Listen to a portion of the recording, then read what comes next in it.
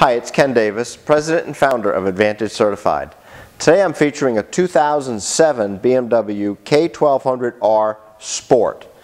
The uh, K1200R is the, uh, the naked version of, the, uh, of their uh, K1200 bike. Uh, the Sport is even sportier than that. This has got all the nice upgrades. It's got the optional sport rims. I believe it's a wider back tire that comes with that. Uh, the ABS2 braking system uh, heated hand grips, the white turn signal indicators, 12,900 miles, and this bike looks just like brand new. Uh, the, the back tire is brand new, the front tire looks like it's virtually new. Uh, we just serviced the bike, we did uh, oil and filter, checked all the fluids, uh, road tested it, the bike's in perfect condition, it's just passed our full certification checklist, so it qualifies for one year, two year, even three more years of extended warranty. So ask us about that.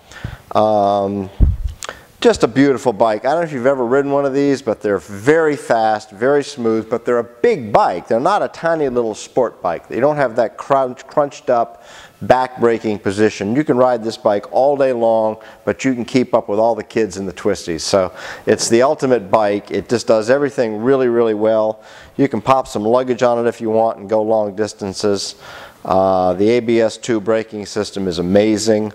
Um, and this bike, again, is flawless. There is not a nick, chip, scratch, mark anywhere on the bike. It's clearly an indoor stored motorcycle. There's no corrosion around the nuts and bolts and fasteners. I've ridden the bike myself. It still rides like brand new. Uh, the back tires got chicken strips an inch wide on each side so that you can tell the old owner never really turned the bike. He just drove it in a straight line. Uh, so that's the bike. It is literally like brand new. It's a lot of fun. It's really fast. It's done in this aluminum silver, uh, sort of a matte silver metallic. Really a beautiful paint job.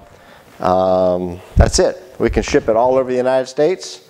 Please do feel free to ask for me directly, Ken Davis, and thanks a lot for taking the time. Have a nice day. Bye-bye.